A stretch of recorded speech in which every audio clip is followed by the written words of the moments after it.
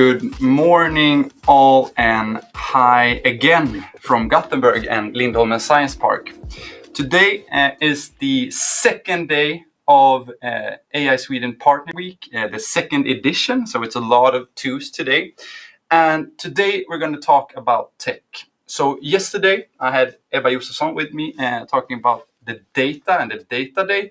Um, and for those of you who don't know me, I'm Peter Kurzwelly. I'm uh, head of the, uh, the, startups at AI Sweden and also a program developer. Uh, so really developing programs to try to create value for you partners. And today with me instead of Ebba, uh, I have real experts guiding me uh, through this the tech day. So Sheetal Reddy, I'm so happy that you're here. Uh, you are our computer scientist or data scientist, and today we're really going to dive into the tech. So, what are we going to do today? Yes. Uh, yeah, my name is Sheetal Reddy, and I work as a data scientist at AI Sweden. Today, I have the honor of guiding you all through the agenda. The theme for today is Edge AI and federated learning. So we have seen that the world is slowly moving from cloud computing to edge computing. It's not surprising uh, because of the benefits edge computing provides low latency, bandwidth, and also uh, security and privacy is solved. But solving, uh, but working with edge computing poses some significant challenges. It's quite frustrating to work with these resource constrained devices. But nevertheless, few of our partners have already tackled these challenges. So let's hear from our speakers uh, from these partner companies who are going to uh, show us how they tackle these challenges. Great. Right. Uh, so I, I will now introduce my co-moderator and an amazing colleague, Erik Wilson. Thanks, Sheetal. So I will be trying to co-moderate from a distance instead of being part of you guys in Gothenburg. And I'm currently sitting here in, in Skåne. So great to be with you. Right. So Erik is going to tell us uh, more about the projects that we are currently running at AI Sweden. Right. So Thank you. Erik, go on. Thanks. So I'm at AI Sweden. My my title is a project manager. So I thought we should just give a glimpse of what we're doing, what type of projects we're running, and what has happened since last time we had our partner week, which was in May, I guess. So let's see. So the projects we are running can be categorized in this way. It's uh, usually the big four, you can say, the healthcare, the mobility, uh, democracy, and climate change. And the least common denominator for this project is that we're trying to engage in sort of the, the biggest challenges or the challenges that uh, can be solved for the, for the most partners. So for instance, we engage in running a project with NLP trying to unite Sweden and creating NLP models in uh, Swedish language. And also unify the, uh, the healthcare system, you can say, that's locked into almost 20 data silos and, and they don't share data. So that's part of the projects we are trying to, uh, to work with. And personally, I'm working with uh, a project you can say called decentralized learning or a new type of file sharing or data sharing technology called federated learning. And I thought I should just give you a bit of a glimpse into what we're trying to do there. So why federated learning and decentralized learning is so interesting is because you as a, perhaps as a data scientist or engineer has found yourself in this position that you want to do models, but your managers prohibit you or the, the legal group in, at your company are saying like, we have something called GDPR. We cannot actually do what we want with this data. And this usually comes from how you do machine learning today is that you centralize all the data into one place. Either you need to give away your data or you need to ask someone to give the data to you. And that's a use constraints uh, that we have noticed that at AI Sweden, who's operate in various fields and agencies and, and municipalities. So instead of giving away your, your data, you could just start sharing models. And this is what this new type of file sharing technology called federated learning has the, the promise to do. So instead of sharing the data, you actually send the model to your node or client, and then you train locally on that node. And the node can either be an edge device like a phone or car, or like uh, a server. And then you aggregate the weights of the models to one main model. So we hope that this will be a workaround of the sort of ghost called GDPR. To take take home message here is that there's two main categories of technologies called cross device and cross silo. And why I mentioned the cross device is because we speak about edge today. That's why it's so relevant. So at AI Sweden, we're trying to do what's called a virtual test bed. And it has been a project running from August this year till end of March. And we're doing this together with you as partners here listed to your right. So here focusing on tech, uh, we're looking into four different POCs with various frameworks that we're testing on different type of data sets and different type of models. And our deal is that the outcome of this for you guys will be a couple of documented demos where you can try these and also a legal document like a, a know-how or how-to document because we meant we, we, we're noticing that the, bottleneck in all organization is the legal constraints. So we hope that when you come back to us in, in March, we can give you the, these, uh, these files and say, here, start, start working with federated learning. and how all this connects to today's session is that I'm sort of uh, secretly announcing an announcement uh, that we're currently building up something that we call an edge lab. And this is how, for instance, the learnings we're doing with Federated will, will be packaged, but also uh, creating a actually a world unique playground for decentralized learning. So consisting of, uh, of both industrial grade hardware with huge contributions from our partners HPE and, and Zenseact. And this sort of playground will be available for you as partners uh, and we're opening up with a workshop on the 27th of January. But note that the, the official press release is the 11th of December. So this is sort of just an announcement about an announcement, trying to create a bit of a hype. So here you see the contact details if you are uh, want to be on a short list for this or have any, any questions of, of what I just mentioned. So with that, I, I give it to you, Sheetal.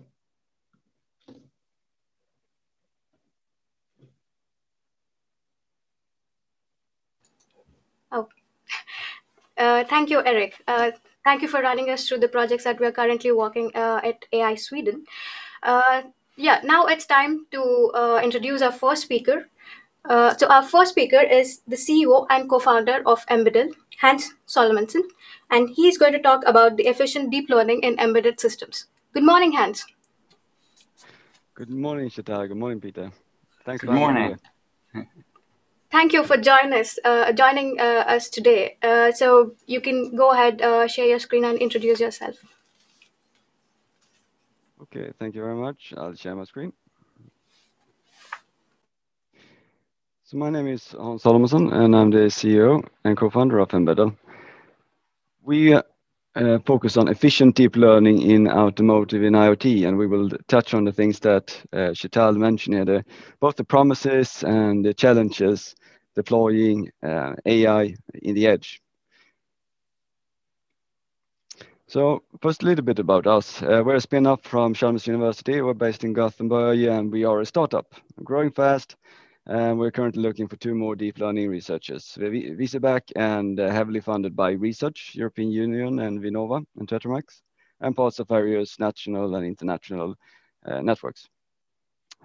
Um, and we, I mean, uh, deep learning in embedded system is a very complicated problem. Um, so we rely on, on research partners to solving some of the problems uh, while we focus on other problems. And these are some of our uh, research partners and also customers. So what's the benefits of uh, edge AI versus cloud AI? Uh, as Sheetal mentioned, lower latency, you don't need to go to the cloud uh, and wait for a prediction to come back. Um, you don't have to deal with the network issues that you might have. Uh, the network might be not available. Uh, a lot of applications might be in, in uh, areas outside of the cities where the network might not exist or be unreliable. Sometimes network is not required or not desired because you re require some data plane plan and that uh, also communication hardware on your device, which could drive uh, complexity of your of your product. Uh, and in many applications, for example, autonomous cars, there's just too much data to send via the network. Um, this could be in, in, in, the, in the tens of gigabits per second, um, and that will drive a, a huge cost and also energy consumption sending this amount of data. Another very important thing is privacy, um, especially in this post-GDPR world that we now live in. You cannot just send images or video streams of people uh, you need to have a, a, GDPR compliant plan for that and, and uh, everything that comes with that. By doing the computations on the device, uh, you have a much, you, you, oh, well, you don't need to focus that much on the privacy issue and the regulations around it. Uh, also sending data to the cloud is a potential attack vector for um, people that want to um, uh, hack your device uh, or in any case, any try to um, tamper with your execution. And that's obviously not good if you're in a safety critical system. Um, yes, so that was the, the good side of it. so what's the challenges? What's the bad side of going to, to uh, embedded uh, instead of the cloud? The obvious one is the limited resources on embedded hardware platforms. Uh, and that's quite evident looking on the images here where you have Google's Edge TPU uh, compared to Google's then um, uh, TPU pods with really fast compute and storage. Um, so this puts a lot of pressure on, on the computation and how much computations you actually can do. And it can be really challenging to meet real-time requirements. And if you are doing applications in terms of autonomous systems like cars and drones and that, those things, you need a short latency to be able to react to things around you, of course. Um, another issue here is that if you want to meet real-time requirements, you, you do need to spend quite a lot of money on the hardware. Uh, this could be in the hundreds of dollars, which means that for consumer products, it's quite limited what actually innovations and new products that you can release. Uh, there's very few things that, for example, I have in my home that cost more than uh, uh, and more than hundreds of, of dollars. Um, also, it's more complex development and, and deployment process, uh, which drives up both the, the, development cost and also the lead time. Uh, and many of these applications are also powered by batteries, so uh, minimizing the, the power usage is, is very important. Um, for example, in, in drones or smart uh, traffic um, applications, it's, it's, it's vital importance. Uh, okay, so in terms of, of what we try to do is help customers develop efficient deep learning in automotive and IoT. So then we need to talk a little bit what efficient actually is. Uh, so I spend some time on, on that, um, but it's could be both in the final product, reducing the latency in the hardware cost and the power consumption as mentioned before, and also in the development process, driving down the development time and the associated cost and time to market for that. Okay, so so it's a product and a process, uh, development process. Um, but uh, let's look on on a more more example. Then, if you have two models and try to see which one are actually more efficient, see if we can agree on that. So here we have two models. One has model one here has 87% accuracy, uh, and using uh, seven giga ops, so number of operations then seven giga operations to uh, make one prediction. While Model 2 has 89% accuracy, slightly better, but it uses almost three times the amount of operations. So which one is actually more efficient here? One is more accurate, but it uses more operations. Um, so obviously you can try to figure out one metric from this, for example, nor normalized accuracy by, by operations. That's not very good. If you try to go that route, you will soon realize it's not very good. Um, let's, let's try another way. Let's take a lot of these known models and plot them in a graph, operations versus accuracy. And then you will have something like this that Canziani et al. have, um, have done. Um, and we can see different uh, architectures here, uh, Inception, ResNet, VGGs. Uh, so this is image classification um, models. Um, and let's borrow a concept from economy uh, about Pareto optimality. So a situation is called Pareto optimal if no change could lead to improved satisfaction for some agent without some agent losing. So that's the sort of formal Wikipedia definition of it. Um, and the agents in this case is the dimension. So uh, accuracy would be one agent where improving the accuracy is improving for that agent and operations is the other agent and improving for that agent is reducing the number of operations because you want to do as, as few operations as possible. Um, okay, yes, so let's continue one step here. You can almost see that this forms a line which seems to be some kind of frontier or some edge uh, where you will have the good solutions. So we can see that VGG 16 and 19, for example, doesn't seem to be that efficient. And we know that these are quite old architectures and we know that there are more efficient ones, but it's quite visual in this graph. So the Pareto frontier is the set of all Pareto optimal solutions uh, or allocations. So if you have a point here on this line, you cannot improve, for example, accuracy uh, without actually um, hurt in the other dimension, in this case, number of operations. So to increase um, accuracy, you need to increase number of operations. So this is um, trade-offs, engineering trade-offs. And this is sort of the basis what we're trying to achieve here to help companies uh, sort of walking this line. So let's say that um, a company has a model, uh, the white diamond here, it does currently 10 frames per second, and that's too slow they would like to have it at 30 frames per second.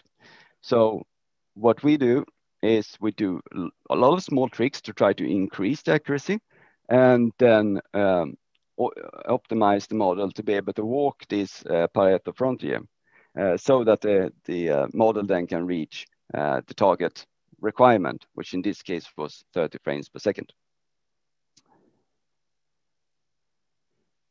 Um, Regarding deep learning optimization then, I mean, deep learning and machine learning is a very, very fast growing field. And so is deep learning optimization, which is a sort of a subfield inside uh, deep learning.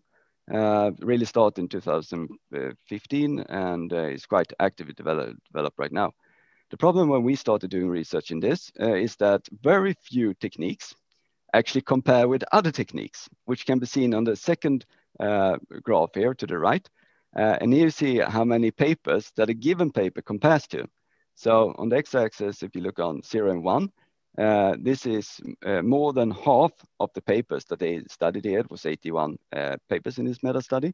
So more than half of the papers did compare to uh, no one or one. And many of these papers claim to be state of the art.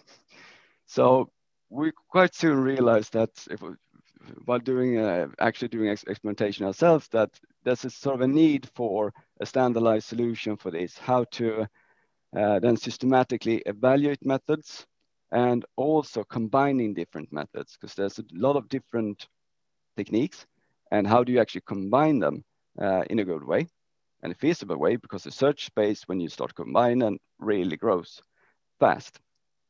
Um, and that's why we started EmbeDL. So it's not only about number of operations, of course. You need to have sympathy for the hardware, the underlying hardware. And there's a tremendous amount of innovations in the hardware platforms for, for edge AI. Um, so on an everyday basis, we are used to CPU. And when it comes to training these networks, we use GPU. But more popular or getting more popular is also FPGAs and especially ASICs there's a lot of innovations in specialized hardware design that are specialized for deep learning. So let's go through these platforms and see a little bit um, what the pros and cons of this might be. Uh, we'll not dive into great detail, uh, but I will have a, on the next slide an example to, to sort of highlight one of the main, my view of one of the main difference between uh, CPU, GPU versus FPGA and ASIC. So CPU is a general structure and application flexible.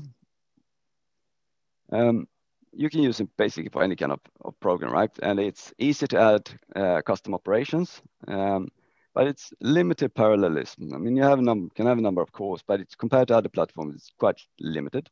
Uh, and has very low power efficiency as well compared to especially the FPGA and ASIC.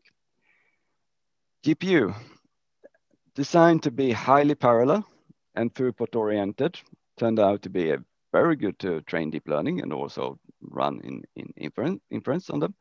Um, so high level of parallelism, they are easy to use due to the, um, the tools, mostly developed them by NVIDIA. Um, lower power uh, efficiency than uh, alternatives of FPGA and ASIC. Um, yes, and then FPGA. So here it's um, it's a bit interesting. Um, here we start talk about reconfigurable and customizable hardware architecture, which means that you can you actually design the hardware. Uh, so FPGAs is uh, stands for Field Programmable, Programmable Gate Arrays. So you will actually de um, design the hardware, and they are flexible to actually create that, and you can then reconfigure them again. Um, so in this way, you can make something that's very specific, very tailored for a certain algorithm uh, or a specific application. Um, but you also have the benefit compared to ASIC that you can, after you deployed it, you can um, do some improvement to it. You can generate a new bit stream and you can deploy it on the FPGA and you have a new design. Uh, you don't need to physically uh, replace something. Um, so this has, FPGA has about an order of magnitude higher uh, power efficiency than CPU and GPU, um, but they are more complex to develop for and, and work. Um, it's, it's not the same way of thinking and programming and, and uh, productivity as you have with CPU and G GPUs. Okay, last ASIC. So here you have customizable again, as with FPGAs, um, but uh, you cannot reconfigure this. Once you've designed it, put it in production, it's physical design. Uh, so once it's taped out, if it doesn't work, it doesn't work, you throw it away and you go back and redo the design. This takes a lot of time to develop and it's costly to develop. But if you have a high volume product, it can be worth it. Um, and also the uh, the uh, the power efficiency is, is, really good in an ASIC. It's a, another order of magnitude compared to the FPGA. So hardware platforms for HI are no toys, uh, but this is a toy on the on the upper right corner here that we all recognize, um, which is finding the right, right block to the to the right hole. Um, and one can think about if you want to structure the CPU and GPU and the limit limitations of flexibility, um, you can structure them in this way a little bit, that the CPU and GPU are quite defined what you can do and how you use them. So you need to take your model and you need to make that fit into the particular uh, hardware platform or hardware target here. Um, while compared to FPGA and ASIC, you have much more flexibility. Um, so you actually have the saw here in the wood and you can actually cut out the, the shape that you want. And then you can change your, have the flexibility of changing the model as well uh, with various kind of deep learning optimization techniques, and then you can combine this and get a very efficient solution. So this is, uh, for us as a company, this is obviously super exciting. Um, so now we can sort of wrap up, wrap up how this technology stack might look then. So in the in the front end, obviously that needs to be a model. So that uh, is developed in some kind of model like TensorFlow and PyTorch. Um, and then it's the, the, customer would give uh, uh, requirements, execution time, throughput, memory uses, etc., and the hardware target. And we will basically optimize that and then interface various hardware backends. Um, so this this is a problem today, and uh, with these large models and getting them efficient on uh, hardware, and it seems like it's not really a problem that will go away of itself. This plot by um, OpenAI uh, depicts the, well, the timeline on the x-axis and in log scale, uh, the training operations required for uh, training a, a, model. And that's a good proxy of the complexity of the model. And we can see with time, we have created more and more co complex models. And this is likely to continue if we want to solve more and more complex problems, which the research community and industry are targeting. Um, yes. So to sum it up, um, Edge AI has many benefits over cloud AI, but it also has its challenges that we talked about. And this is what EmbeDL is trying to do, um, solve challenges relating to efficient final product and the development process. That's the things that we are targeting. And we're also happy to announce that we're hiring. Uh, so we're hiring two more deep learning researchers. So if you uh, find this to be interesting, uh, please contact me or, or apply on our career site. Um, and uh, thanks for listening and see you in, in the panelists um, later. Thanks. Thank you so much, Hans, uh, for giving us the hardware perspective and also enlightening us uh, with so much knowledge. We have few questions uh, in the chat, but I would like to uh, steal the first question. Uh, so I am just curious uh, because there are a lot of optimization engines available like TensorRT, but that is available for NVIDIA devices. OpenVINO only for Intel. Uh, but you said that EmbeDL works for any kind or most of the edge devices. Uh, what challenges did you face while building the tech stack for EmbeDL? Because it is ca- catering to many edge devices. Yes, so there, there are many challenges. Uh, one is just to understanding models coming from different TensorFlow or, or deep learning frameworks, for example, TensorFlow and PyTorch. Um, and the, the underlying operations there are changing all the time. That's one challenge. Um, second challenge is that, um, well, the, on the hardware side, we we try to not recreate uh, the wheels, so to speak, when it comes to overlap between tensor TensorRT and OpenVINO and those. Uh, the techniques that we do uh, have very little overlap with what they do. Um, so we are focusing more on our optimizations on a graph level where we actually changing what should be computed, not how it should be computed. So tensor TensorRT, for example, takes something and execute that efficiently while we optimize what you actually compute. And that is a, a, a very challenging task to do. Um, it's not network architecture search. We start from something, uh, but then we optimize that for a particular target. And the search space is so huge because it's so many parameters in a model that you can change. And many of these are sort of set by the uh, user already because you have a ResNet or whatever you have as as your your your, your uh, sort of building block when you're building, and um, then you have the different sizes already set. But um, that is just by convention. That might not at all be the optimal, especially not optimal for that particular application.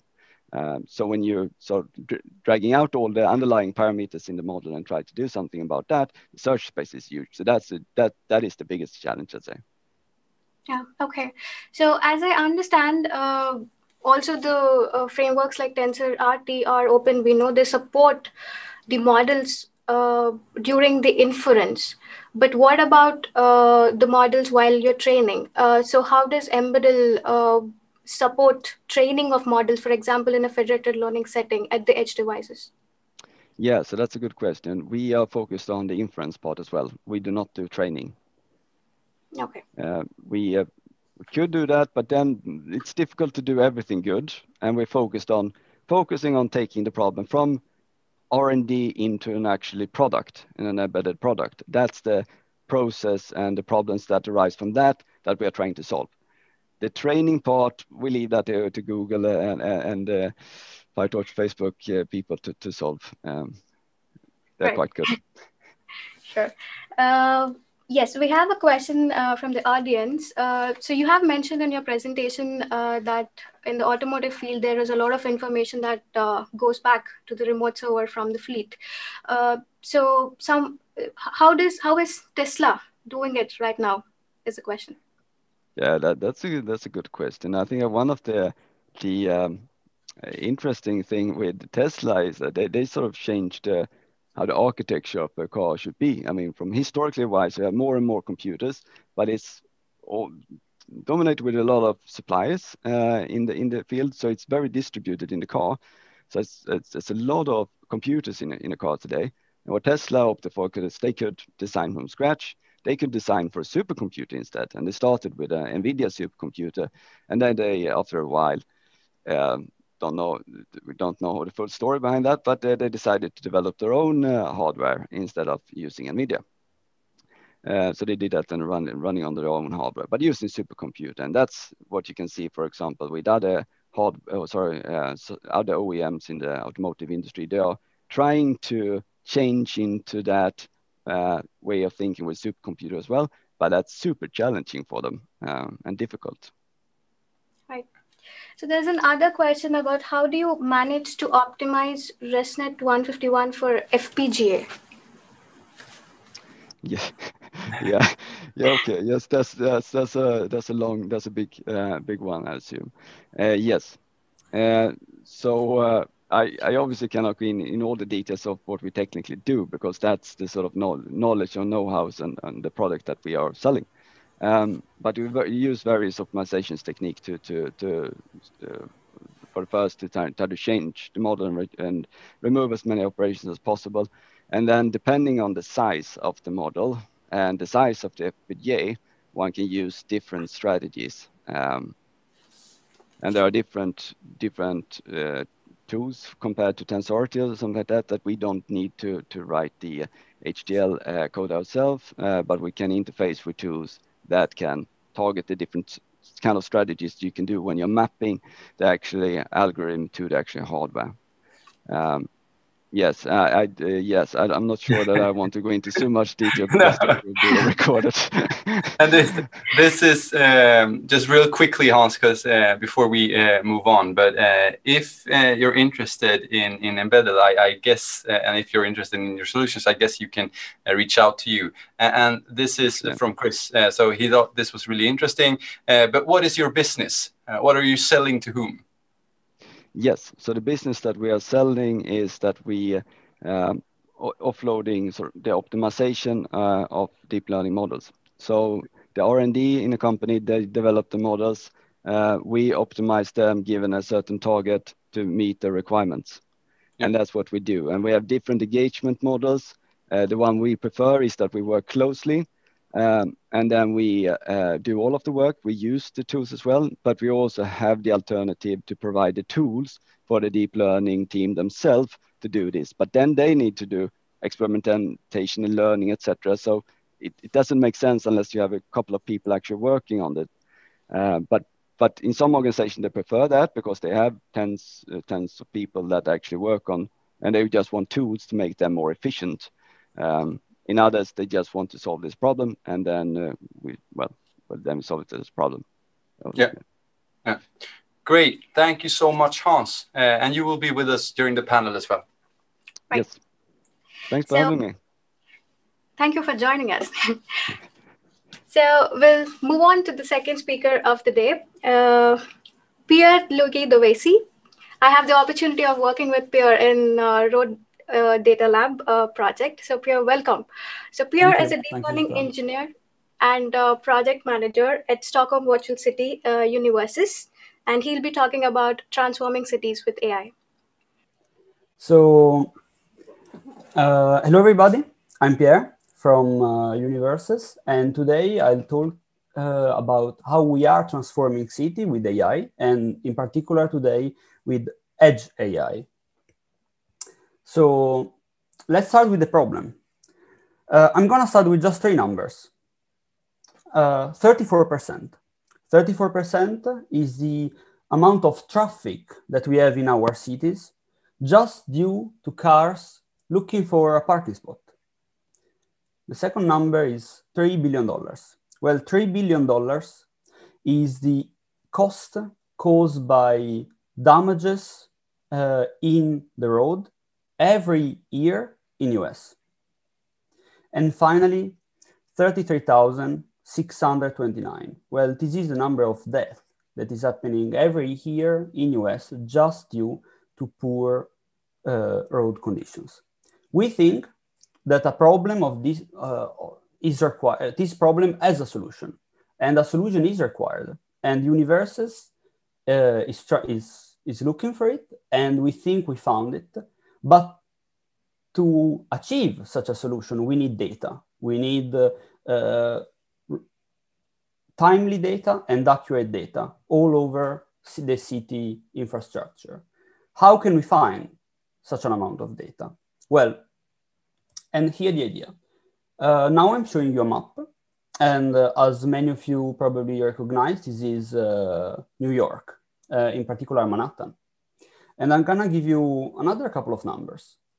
Just 10 taxis uh, for just eight hours, a normal working day, can cover on average 30% of Manhattan, 30%.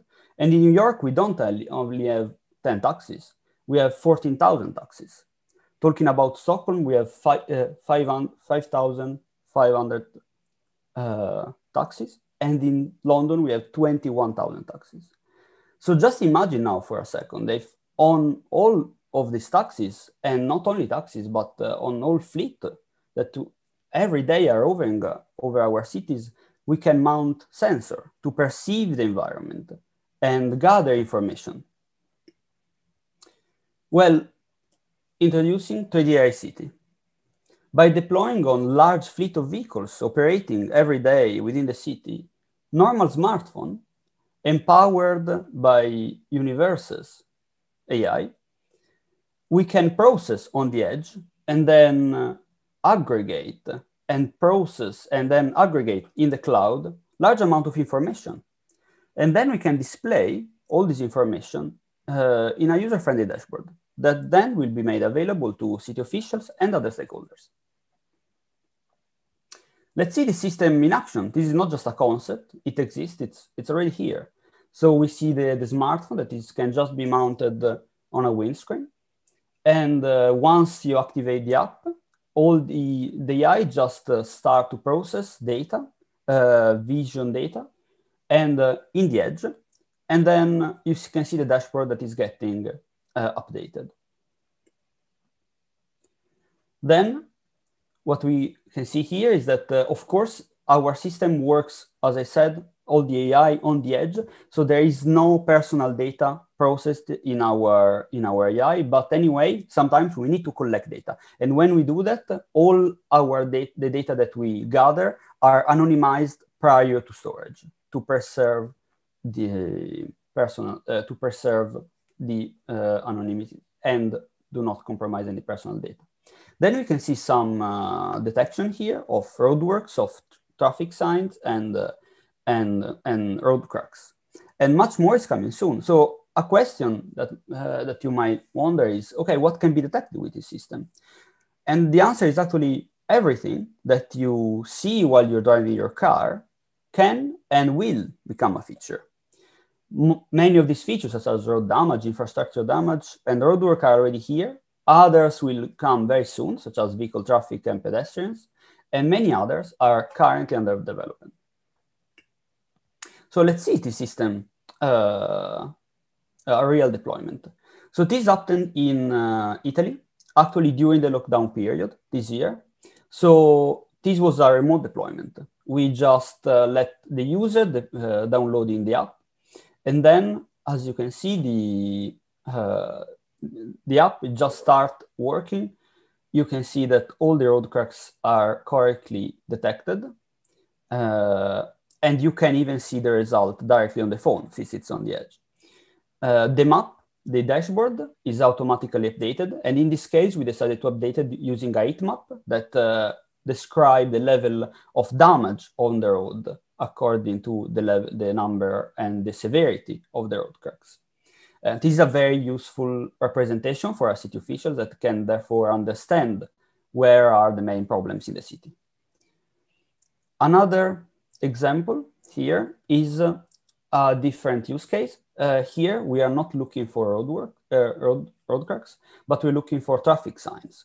And for this specific feature, uh, we need to go one step forward. It's not enough to have a, a heat map, but here we want to find an exact location of the speed sign. So the city can track if the if a, seat, uh, a traffic sign has been damaged or is missing or there's any problem with it.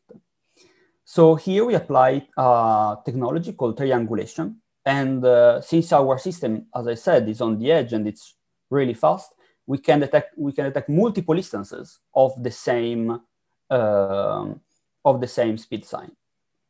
By doing so, we can triangulate them by unprojecting the speed sign over array, starting from the car to the speed sign, and then we can find the intersection between these projections. And by doing so, we can reach an accuracy that is much higher than a GPS, and we can actually go well beyond uh, one meter accuracy. So let, us talk a, a, bit about us, uh, Univrses. So uh, Univrses is a Stockholm-based startup founded in 2015. Uh, we are experts in 3D computer vision and machine learning. We are 33 people and growing, and half of us has a PhD in computer vision and robotics. And these are some of our amazing partners that we are collaborating now and, and will collaborate also in the future. But today it's a tech day, uh, and I want to talk about our research. In particular, Univrses is publishing several papers, but today I'm gonna focus on the research that we're doing with AI on the edge. So the first uh, paper that I'm presenting you is called Enhancing Self-Supervised Monocular Depth Estimation with Traditional Visual Odometry. It has been published in 3DV 2019. So what is monocular depth estimation? Well, uh, the concept is pretty easy. Uh, you have monocular camera, so just the smartphone camera, and you want to find the depth of the scenario. Uh, finding depth means that you want to find for every single pixel of the image how much distance is that the, between the pixel and the camera itself. And so you can reconstruct a geometric representation of the scenario. Um, usually, this system works in the following way. Now, I don't want to go too much in details, but uh, the way that we can solve the problem is to train the system with a self-supervised approach. So from the left image, we try to reconstruct the, the right one, and from the right one, we want to reconstruct the left one. By applying this kind of reconstruction, we implicitly need to learn depth as a sub-information. And we use this implicit understanding to uh, obtain a self-supervised depth. Of course, we need to use a stereo input pair for the training. Well, but there's another way that we can find depth. And in particular, this is, uh, so if, you, if some of you work with computer vision some years ago, you will remember, uh, this is the visual uh, odometry. So visual odometry algorithms are using uh, uh, key points found in the image, such as corners uh, and other relevant features, and track this point over time. Tracking this point over time allows to have a quite good depth understanding of this point. But you can see these points are very sparse. And uh, convolutional neural network doesn't uh, like uh, sparse point, unfortunately. So we need to find a way to densify this point and to make uh, this input suitable for a convolutional neural network. What we did at Univrses was to take this point that uh, you can see are sparse, and we use a, spar a sparsity invariant autoencoder. So by applying this, these points from sparse, they become pretty dense. And then these can be used in the neural network. So here we can see that we have two modules. So first we densify this point and then we concatenate this depth information to the RGB input. Once we have this four channel input, then it's pretty easy to obtain a depth. And we can see that this system works uh, surprisingly well uh, we reach, uh, so we developed two systems, one for big GPU, uh, I think that we use a 2080 Ti, and uh, we reached the, the, highest accuracy between uh, monocular depth estimation. And then we develop another, another network that instead is supposed to be to run in real time. And this network instead uh, is able to go really, really fast while achieving really good accuracy as well. And uh, we tested it on uh, NVIDIA Jetson TX2, that is an embedded device, uh, really used for research and uh, these kind of things. So let's see how this, uh, this system works, because the numbers can tell up to a certain point, but then we want to see uh, the result. Here you can see this can be done with a smartphone actually. So you just smart, mount the smartphone in your car and you can get the depth information while reconstructing uh, a 3D map, an HD map. So the second paper that I want to present you today, it's much newer. It's ICRA 2020. Um, and uh, it focuses on a different problem. So this time we have a SEER camera and we don't want to find just the depth of our scenario, but we also want to find the uh, semantics nature of, of what we see. So we have a robot and as I said, we want to find we want to understand the environment as in its contextual nature and to uh, do this task. We want to do semantic segmentation. While the second task that we want to do together because actually mobile robot need both of them at the same time is as i said the depth information.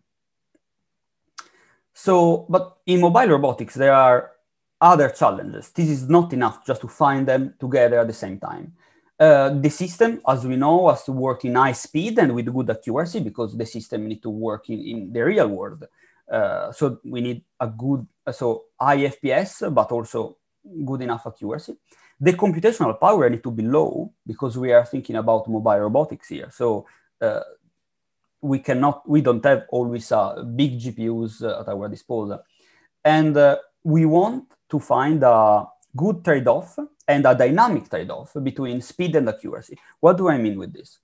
So in some circumstances, the robot might move very fast. And if the robot moves very fast, uh, we need really high uh, output rate, but we and we can sacrifice the accuracy for that. We don't care so much about the accuracy. We, we really want high FPS. In other kind of scenarios instead, it's much more important uh, to have high accuracy and we can sacrifice a bit the output rate. And what we want to do is to do this trade-off dynamically. We don't want to have different perception module according to the robot need. So we develop a system that is able to tackle all these problems together. So by using a shared encoder, we extract features for developing both depth information and semantic segmentation by using two different decoders. And we do this in three different resolutions. So we have the speed accuracy trade-off. Finally, we also merge these two embeddings once again uh, to further improve the depth information. And we have been the first one to the, uh, able to develop a system that can simultaneously take tackle semantic segmentation and depth prediction in real time on an embedded device. So let's see some results now uh, this is a short video that will show you what you can do with this system. So here you have a normal, like uh, a road. This could be like a car, for example. And uh, you can see that you can get the depth information. So as I said, the darker pixel, the farther away it is, so you can get a geometric description of what you can see. And uh, here we see that uh, we are around uh, 4 FPS and while 96 FPS on a larger GPU. Here with the segmentation, here it's really, really fast. So we are going at 62 FPS on a, embedded device. And uh, here we finally see uh, uh, the, the refined depth. Here you see uh, the improvement and uh, I'm going forward now. Okay, but uh, so this has been the two papers that I present you today. Uh, there's more. I want to also show you a bit what uh, the future challenges and uh, the vision of uh, Univrses and its technology. So I want to start uh, with a story for you, actually, that is that data hidden challenges. So this is an airplane and in particular, this is a World War II airplane. In particular, uh, we are talking about the US Navy, and it was facing, they were facing a really critical problem. So many bombers that were, uh, were really getting shot down when they were run, running over Germany. Uh, so they need a quick solution. What do you do? You just call data scientist. So the approach was straightforward. After each mission, the bullet holes and the damage from each bomber was reviewed and recorded. And you can see the result here. So the solution, once you create this map, was pretty clear. Just increase the armor on the areas where there's more holes. So the wings and the body. That's pretty easy, right? So, well, just a few hours before the submission, the mathematician uh, Abraham Wald uh, checked once again the data and he found out that the conclusion was completely wrong. So can you see why already? Uh, Wald noticed how the, the researcher only uh, looked at bombers who returned to the base. So what was missing from the data? Well, every single plane that has been shot down in Germany. So does the same principle that I'm telling you right now apply to vehicle as a sensor system such as 3D AI City? Well, the answer is yes, and let's see why. So a common opinion between deep learning practitioners uh, and computer vision scientists is that, uh, well, with a deep learning and computer vision module, without any blind spot, vehicle as a sensor system can detect and map everything. But then you can ask, okay, what about the blind spot of your fleet? And in particular, how many cars do you need to perform a certain task? How frequently can I update my information on this road? And how much time does it take to cover that area? And for and foremost, what is the system fair? Are you sure you are covering all the city in the same way without excluding any district or penalizing it? Well, what we need to understand here is that the detection capability of the single feature, so the sensor domain, the computer vision, is only a part of the problem. And it's completely different from the detection capability of the feature over the city, so on the city domain. Here, I'm showing you some graph uh, that represent uh, the coverage that you have in a city and how many cars or trips uh, you need to perform to obtain that kind of coverage. And you see that just with a normal natural exploration path provided by taxis, you really need high number of vehicles to reach high coverage over one day. We think that this is not enough, and this is not is this exploration is not even fair. Therefore, we need to enhance enhance this exploration. So the solution is the following. We need to see, understand, predict, and ultimately control the fleet. So here I'm showing an historical drawing uh, of an AI. And you, we see that uh, every AI and actually control system is composed by two sections. One, to observe the system, and the second one, to control and orchestrate the system. So we are developing now the first uh, fleet observer, so a set of tools able to actually understand and predict what's going on with the fleet. And the second one is a fleet orchestrator, another set of tools that instead will help to move and influence the fleet toward the routes that need to be uh, mapped. So why we're doing all of this? Well, uh, for us, what is crucial is not just to have smarter city, but we want to have sustainable city. So we are thinking about social and environmental sustainability here. Uh, we are uh, really clear UN goals in mind. And uh, as I said, not just smarter city, but livable cities. So thank you all. And uh, this was my presentation.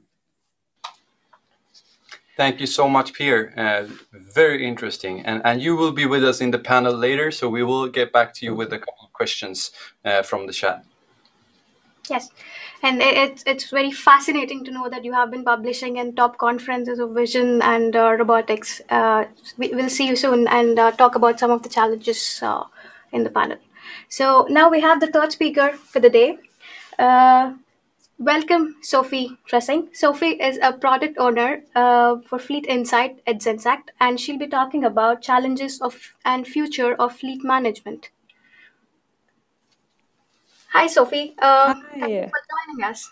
Thank you. Super interesting uh, in presentations. Um, let's see if I can keep up. All right. so my name is Sofie Tressing. Um, I'm working with enablers, enabling continuous enhancements of products. and that by um, setting up uh, an arena for edge computing and data collection from our fleet of vehicles at customers. Uh, and I'm working as a product owner for a product called Fleet Insight, which is exactly that tool that's going to enable this. And I have close collaboration with Volvo Cars developing this. So, so it's a really important technology for, for the automotive uh, business. So if we're looking at uh, uh, Zenseact, uh, so Zenseact, we're developing uh, safe uh, self-driving features, and this by creating an unsupervised autonomous vehicle solution platform that's going to be uh, um, applicable for um, the autonomous market. Um, and we are driving this together with our lead customer, Volvo Cars. And what we are basically doing is that we are sensing the surrounding of the car by uh, interpreting the sensing information as an input. And that could be radar, camera, maps, and so on. And we are taking in this data, we are doing decision making, and then we are activating the car in a safe way. Uh, so this is basically what we are doing at Zenseact as a core development.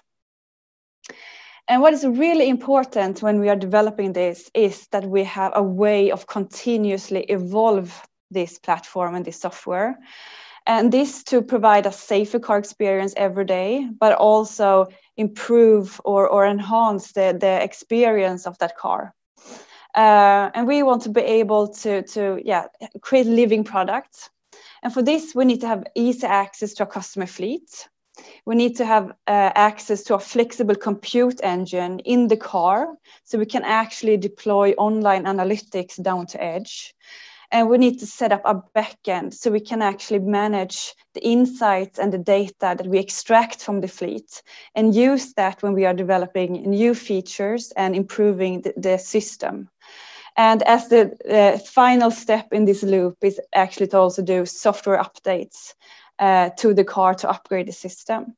So this is a loop that is very important. And Fleet Insight is a product that is contributing a lot in, in this way of working.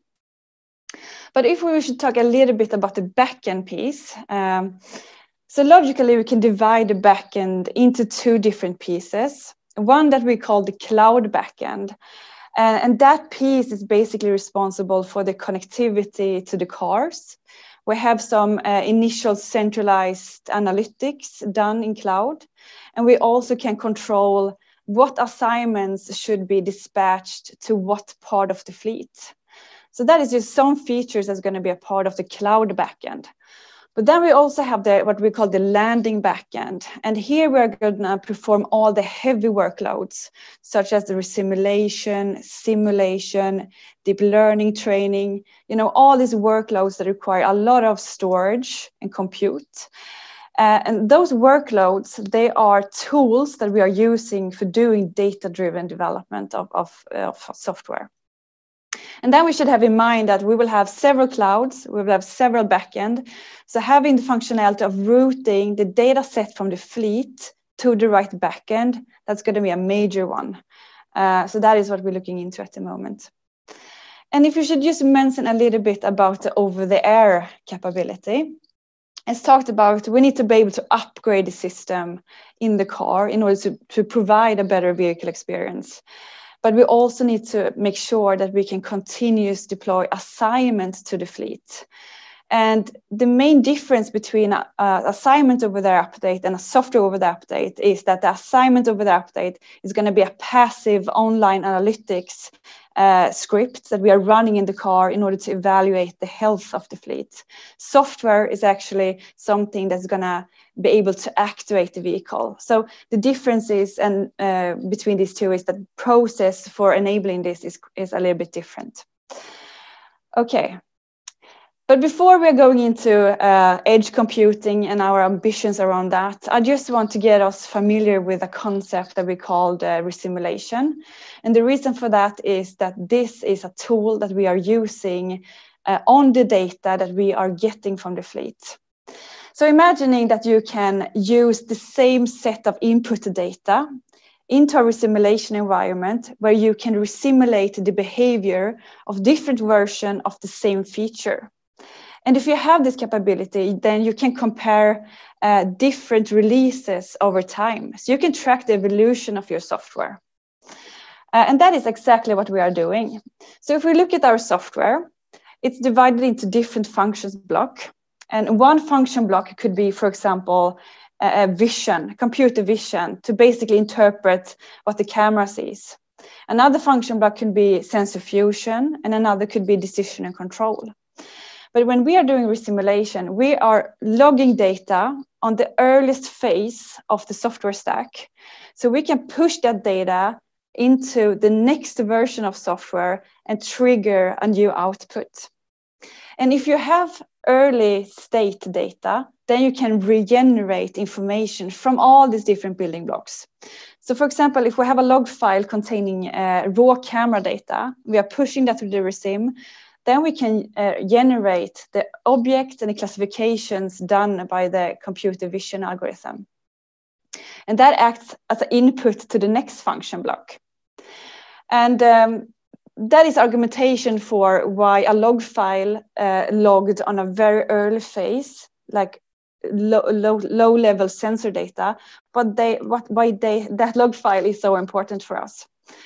And often when you're doing simulation, you want to look into a, a, a, um, a, scenario that could be five seconds, 10 seconds. And then you can imagine having 10 seconds log file with raw sensor data. That is quite huge log file. And if we're considering offloading that file from the vehicle, that's going to be very demanding on the system. So here we need to look into uh, opportunities to optimize, uh, which I will talk about a little bit uh, later on but the, and one optimization could be, for example, that if we're finding an improvement in the sensor fusion block in the middle, maybe we just need to log the output from the vision algorithm at that point. All right, moving on. Um, so we can consider simulation as um, a digital twin of the real vehicle. Um, so basically we are fetching log files from the real world, from the fleet. We are ingesting that data through the cloud to the backend piece. And apart from resimulation, we are also doing simulation, which is one important tool as well. And when doing sim simulation, we are looking into real data from traffic, and then we can do variation of that scenario to increase the scenario space. So we can argue for a safe function. Um, and the third workload is deep learning training that is also very computer heavy. And here we need to continuously have data from the fleet in order to train our vision algorithm to understand the dynamic world that we are living in. For that algorithm to evolve with um, the dynamic environment around the car going forward. All right. So if we zoom out a little bit and we take a look at Fleet Insight as a data collection tool, we have some building blocks in the car, for example, logging, which is about getting data from our features and applications and get that presented to a flexible compute engine. And this flexible compute engine could host uh, assignments of different kinds. And then we have the data offloading piece, which is basically the mechanism of packaging the data and getting the data off the car to our backend in cloud and also backend in the landing zone. So we can use that when doing data-driven development. But if we should focus a little bit about the onboard capabilities of Fleet Insight, uh, if we're describing the mechanisms that we have, as I told you before, we are fetching information from sensors. We're feeding that information into different features and applications if we want to be able to, to measure the performance of our features, uh, if we want to identify uh, improvement areas, um, uh, the pattern of how these features are used and so on, then we need to be able to present rele uh, relevant information to this query engine that we have in the car. And this query engine is very sandboxed, so you should be able to run different kind of assignments. And that could be, as mentioned, KPI measurements, could be trigger conditions, uh, edge AI, statistics. You know, we have a lot of opportunities here. And when we are identifying that we have something interesting to look into further in the backend, then we trigger a mechanism to basically fetch that data, package it, compress it, and then we can offload it uh, to, to, the backend in two different ways, batch and streaming. That is, that is the plan. um, so we are aiming for uh, doing insights as early as possible. So already in the car, we should make insights, insights about our product. And if we can enable that one, we can optimize the resources related to bandwidth, network, but also backend resources. But though it puts more requirements on the resources on board. So here we have a, need to have a discussions about how do we balance those different components in order to create an optimized system when it comes to CPU, RAM, and disk. Um, and that is a little bit what I'm going to talk about now. Uh, because if we look at the different components, uh, for example, we have RAM. If we want to have the opportunity to analyze a bigger window of data, uh, 15 seconds, 20 seconds, we require more shared memory in order to do so. Uh, if we go we're looking at the disk part, if we want to optimize the way we are offloading identified data sets to the backend, we need to have some way of storing that data in the car before uh, we have a proper offloading method available. And that would require more disk space, right? If we're looking at the CPU part, so if we want to optimize disk uh, resources on board, then we can look into compression. So we can compress the data before we're it to disk, but compression requires CPU load. And we can also look into maybe we don't want to be that trigger happy when it comes to offloading the data from the board.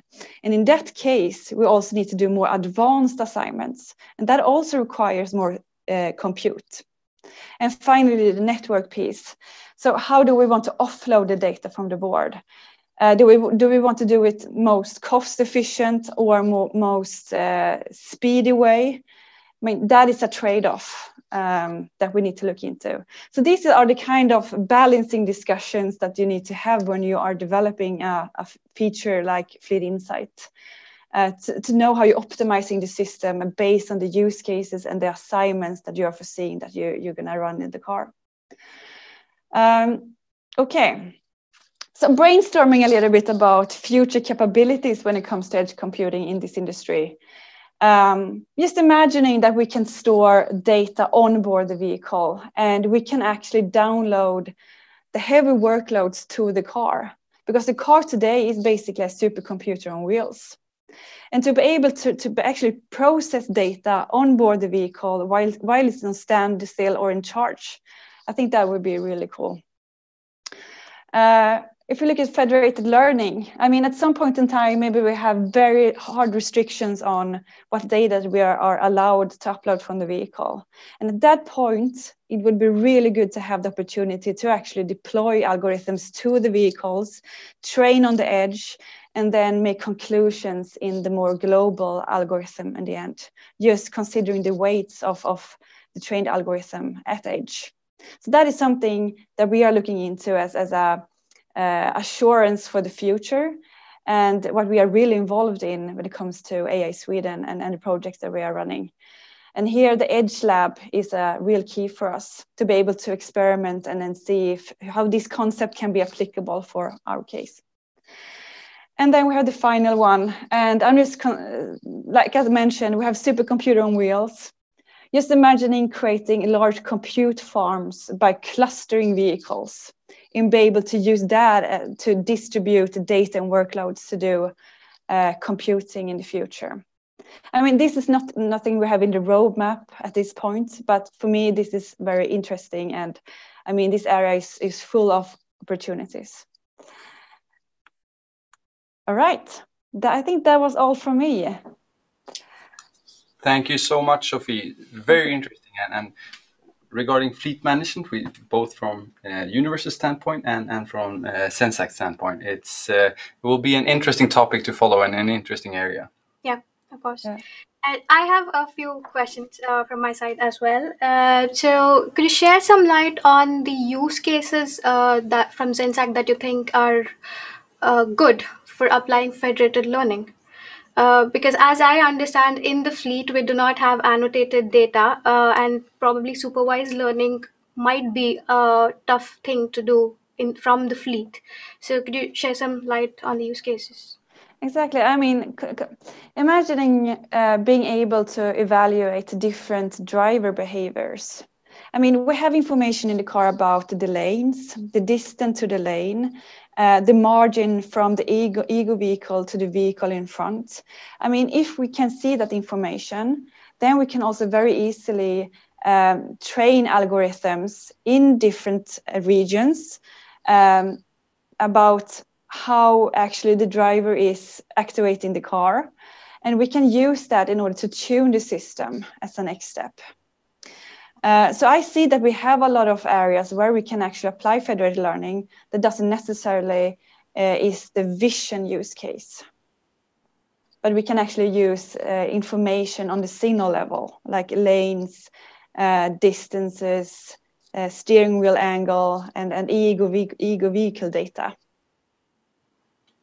Yeah, okay. That that sounds really interesting.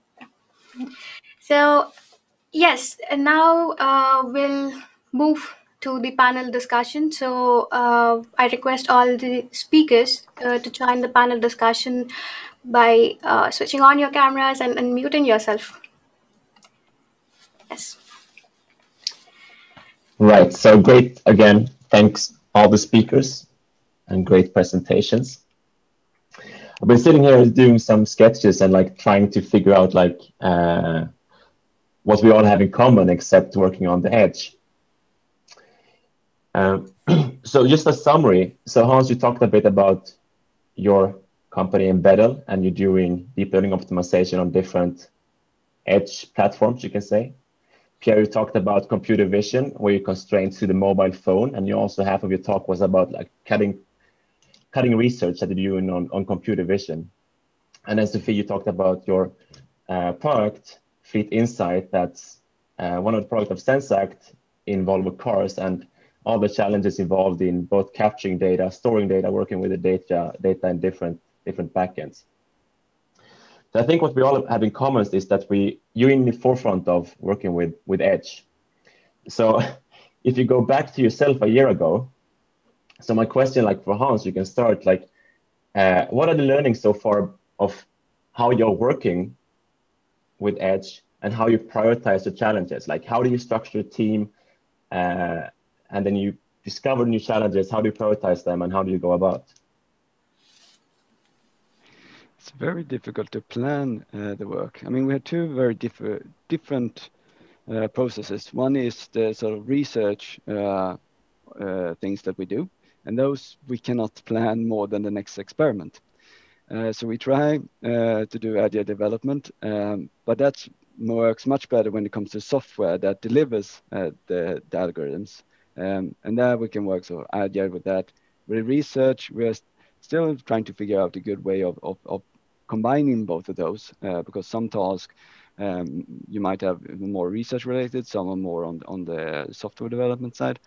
Um, so I, I, in general, I think that, the, but that's not, I guess, for only for Edge TPU, but uh, for for Edge, uh, but for every every sort of research-oriented company that also develops a product.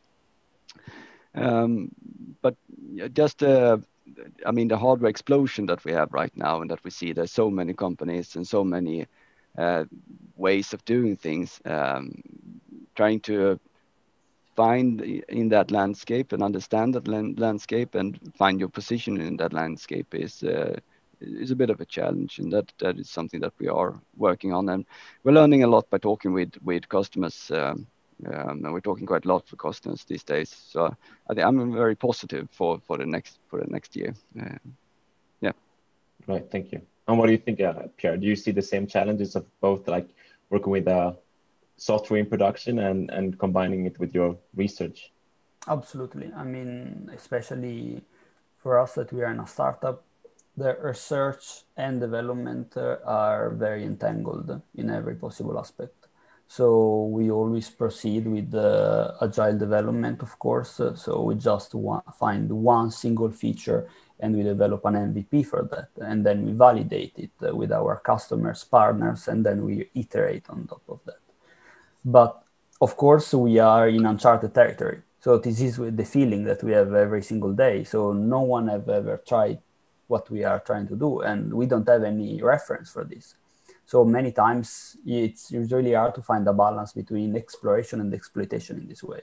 So how much you need to go through stuff that already exists out there and uh, what reference can you find and other times instead you really need your time to explore and this means going back to the papers the research and find new things that you can make the product great right and do you have the same challenge of uh, as hans said there's uh, explosion in available hardware so you're more constraints to the mobile phone but also we see new yes. phones coming up all the time well yes i mean we started with the mobile phone since we think it's the more uh, user-friendly tools that everybody has already. So it doesn't require, we don't bound ourselves to specific hardware, even though we have nothing against it, uh, as a, uh, to be honest.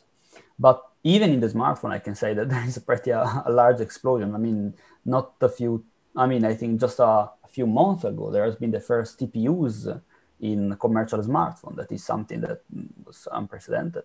And uh, I can only imagine that this explosion will keep going and the smartphone power is i mean it's really exploding now every single year right and what are your thoughts regarding this question sofie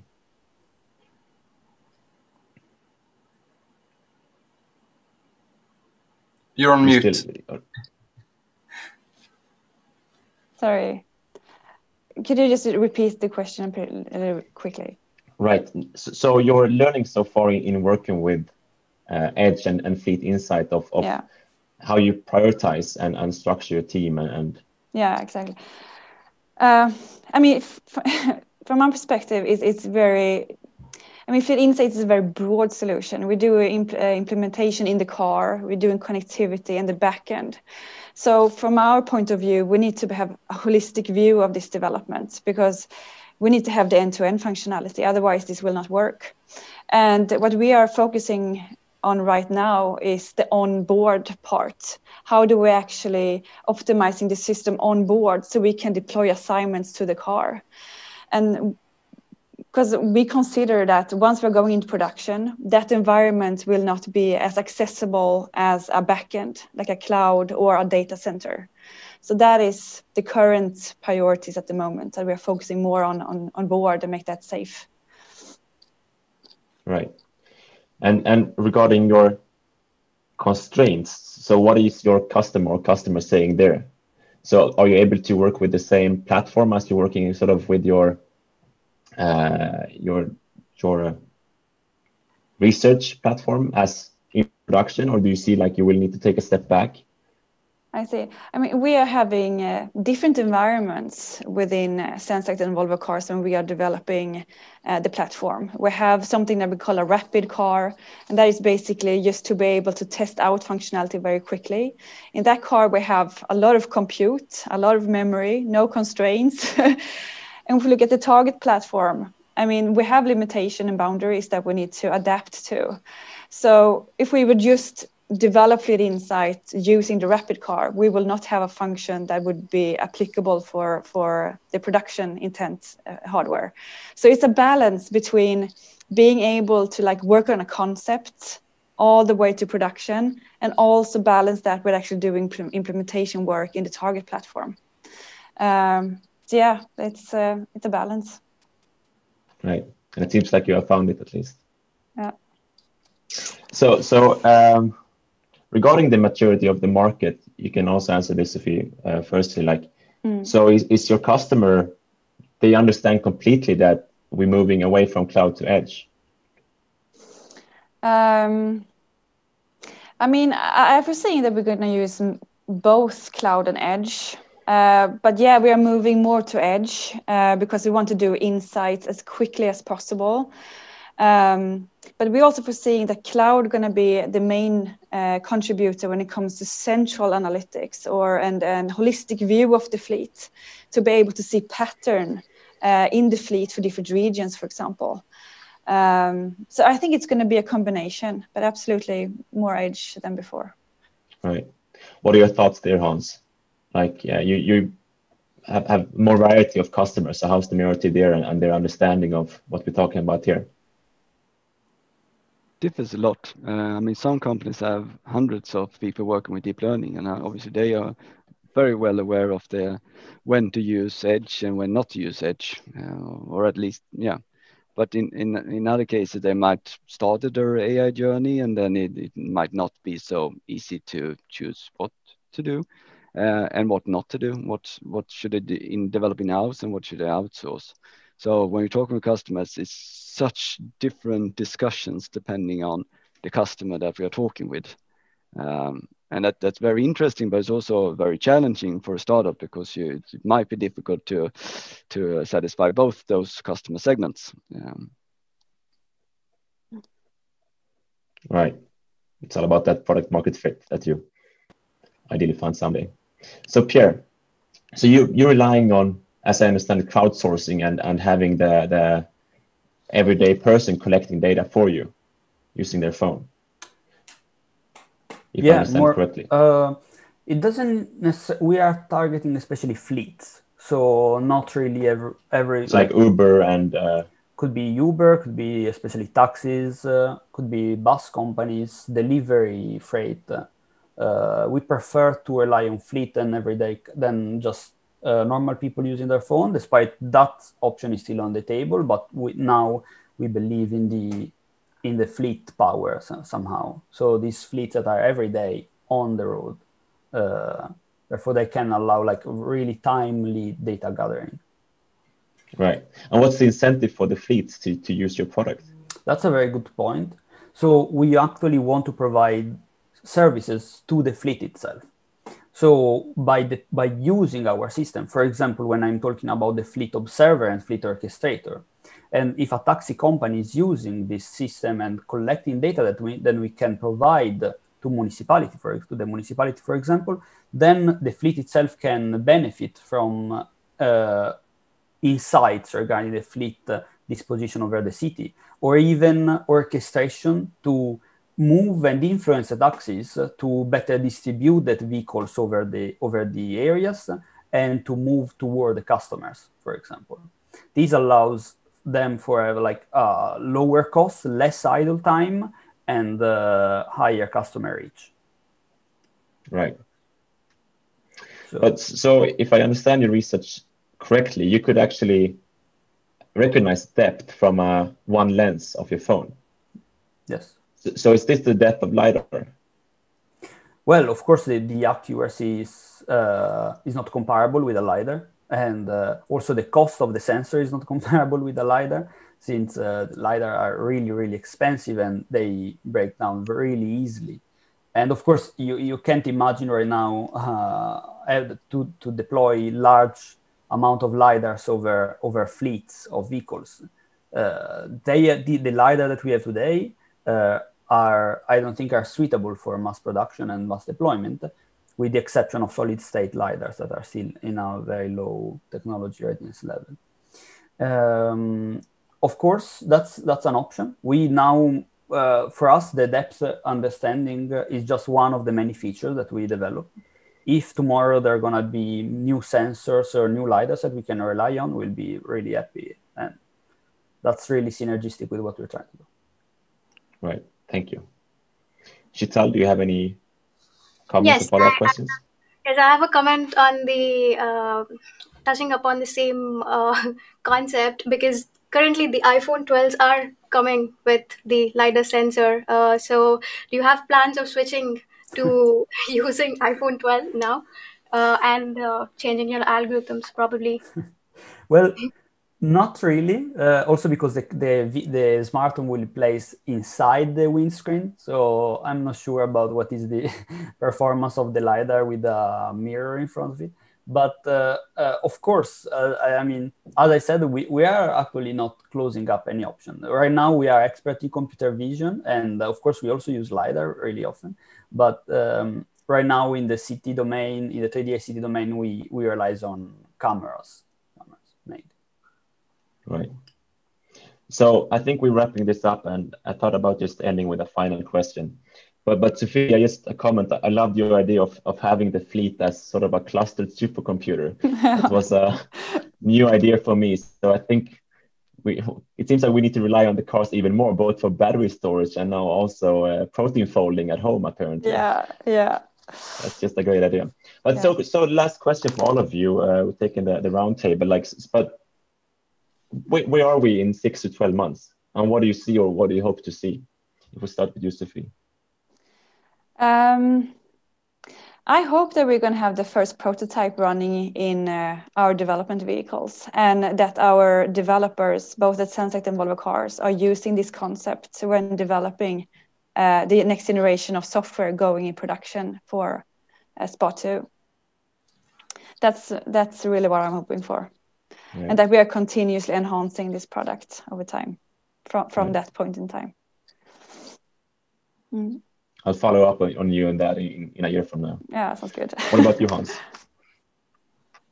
I hope, I hope, really hope, and I think that we'll see uh, sort of gradual uh, deployments of of uh, edge AI, um, and that we now are starting to see the actual benefits of it. That we are past sort of the hype, and in the next year and two and three, we actually have more um, mature companies uh, producing um, useful and valuable products using edge AI.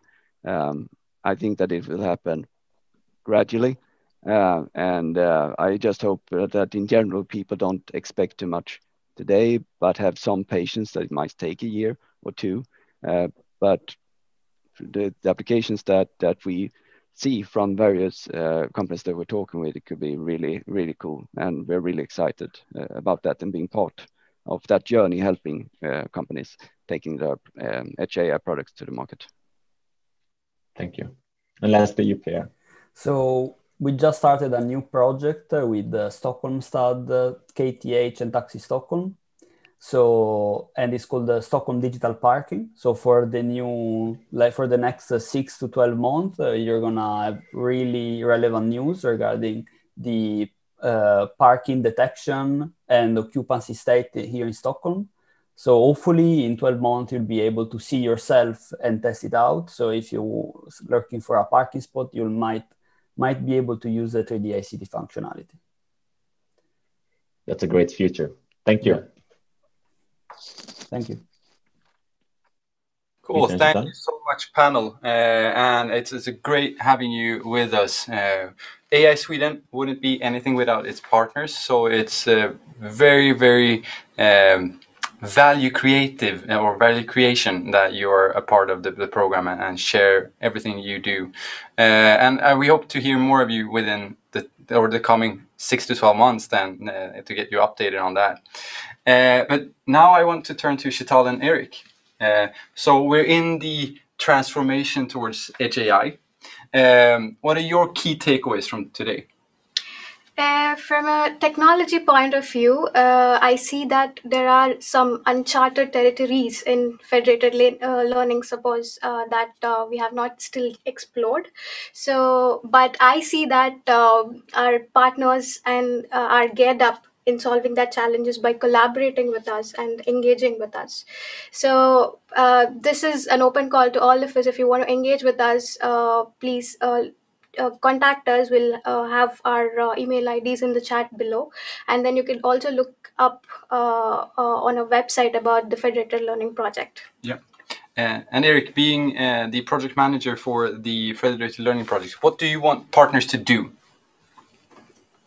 I want partners to know about the technology, like start thinking about use cases, read up on like just Google the technology and then there's a great comic on, on Google, put together by Google. And then hopefully we have the foundation for you in end of March that you can really act as a catalyst for you to start working with this new technology in end of March. So keep an eye out. Yeah.